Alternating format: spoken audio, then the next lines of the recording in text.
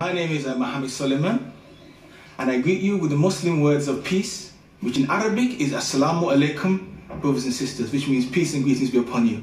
I'm the chairman of Islamic Action. Islamic Action, who are holding this talk for black students at Middlesex University, are one of a number of black Muslim organizations in Britain today. Thousands of young black people become involved in Islam as I have through hearing about it from groups like this or the Nation of Islam, Power on Nubian Hebrews. As a team, we travel extensively all over the country. We never we never come across closed minds or closed hearts or closed ears. We're finding that the more we travel, people can't get enough of the message we're coming with, the solutions we're bringing. People can't get enough um, of uh, um, of what we have to offer and what Islam has to offer, what the belief in Allah has to offer, what the belief in the Prophet Muhammad has to offer. Yeah, the belief in Islam has to offer, the belief in our own African self-identity and strength and powers and energies and dynamics have to offer. What we're saying is that we look into ourselves now by saying, well, Islam and Africa ain't separate.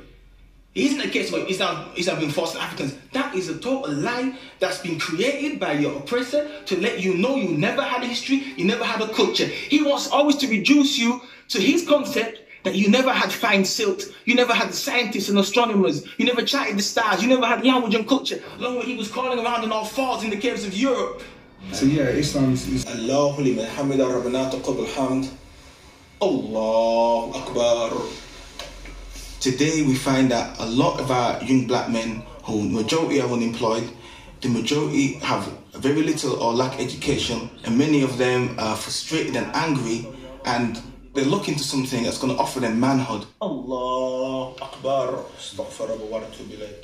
So you find today that specifically black men, they they feel that Islam offers them manhood, it offers them respect, it offers them dignity, it offers them nobility, and it offers them the chance for the first time to look into themselves and to get knowledge of self and realize who they are and what potential and what role they play.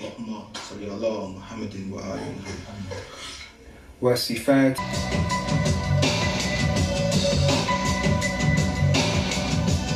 Islam is playing a growing role in Black Britain, bringing a message to all levels of Black British society. It's the people in these estates who um, feel disempowered, who feel that the state isn't offering them anything. And he, very here in this very place is the place where we find that we have a lot of people who are receptive to our message. They're receptive to the message that Islam brings, the, um, the fact that it can empower them. We believe also as well that there should be a unifying factor among them as well as the organization. And we believe that this unifying factor, once, once they're educated, um, once they're organized, and once they're unified, then you find they'll be able to find ways to liberate themselves. And we believe that you can't liberate yourself um, if you haven't got a plan, you haven't got a map. And we believe that the map we have today is Islam. 5 verse 6 of the Quran. Bismillahir Rahmanir Rahim. O you who believe, when you rise up to prayer, wash your faces and your hands as far as the elbows, and wipe your heads and your feet to the ankles. Islam offers. The one is you cannot say you want a revolution if you're addicted to the vices of your oppressor. You cannot say you want a revolution in our communities and of every block you have a shop selling you alcohol every single day to keep you desensitized to the problems that are around you. You cannot say you're going to have freedom if you're addicted to crack or heroin. You cannot say that you are going to have freedom if you're addicted to gambling. If you want to have freedom, then you have to stand up as a man and as a woman with some backbone and say, well, how am I going to um, free myself? And I've got to do it with my own methods. I cannot do it with the language of my enemy. I cannot do it with the religion of my enemy. Yes? I cannot do it with the um, thought patterns and the miseducation of my enemy. Islam reckon. I, I think the first step is to recognize this and to begin to flow back into the mainstream and to because you, you cannot solve problems by standing on sidelines. I mean that's impossible. We've tried, as I said before, the other methods. We haven't seen them being productive.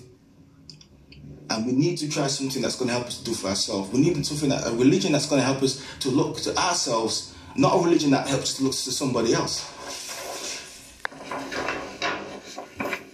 Bismillahir Rahmanir Rahim.